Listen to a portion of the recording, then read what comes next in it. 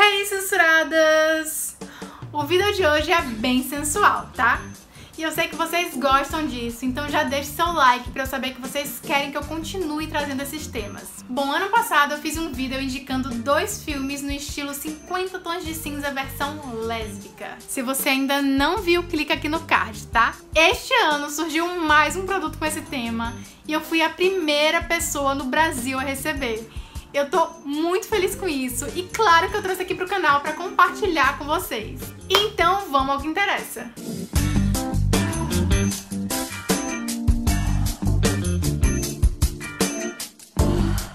Eu quero mostrar pra vocês um romance erótico lésbico que lançou em português esse ano e veio diretamente de São Francisco, nos Estados Unidos, para as minhas mãos.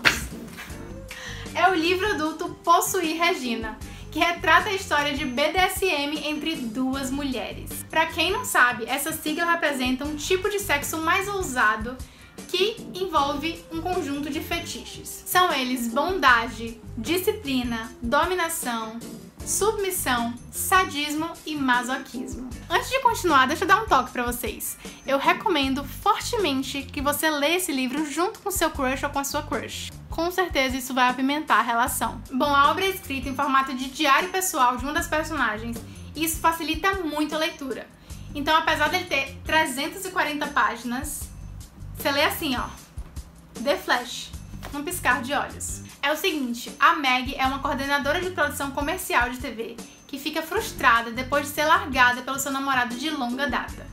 E aí ela decide fazer um diário para poder desabafar sem pudor. Ela é uma mulher que se sente super sexy, mas que acha que ninguém nunca valorizou ou olhou para ela da forma que ela gostaria. E isso vai gerando alguns questionamentos na sua cabeça. Durante esse processo, ela conhece a Regina, uma professora do quinto ano, acho que 12 anos mais velha que ela, mãe solteira, super de espírito livre e bem intrigante. Logo elas começam uma amizade que vai se mostrar super incomum e promete mudar suas vidas para sempre. Apesar de nunca terem se relacionado com mulher, elas desenvolvem uma necessidade inexplicável de se aproximar uma da outra e explorar seus lados mais sombrios nunca antes despertados. Então vai nascendo daí uma paixão inesperada, um profundo desejo erótico que vai dar espaço a vários fetiches não convencionais e ultrapassar os limites que elas tinham em todos os relacionamentos anteriores. E é nesse momento que a Meg e a Regina vão começar um jogo ousado e cheio de aventuras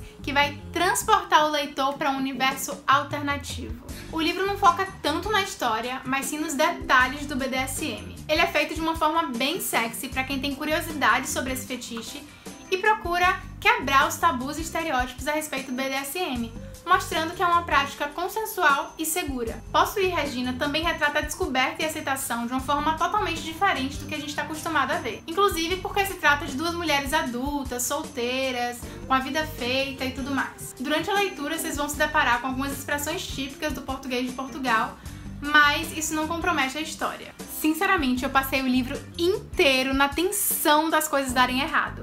Eu li um pouquinho e ficava, ai meu Deus, é agora, agora, agora.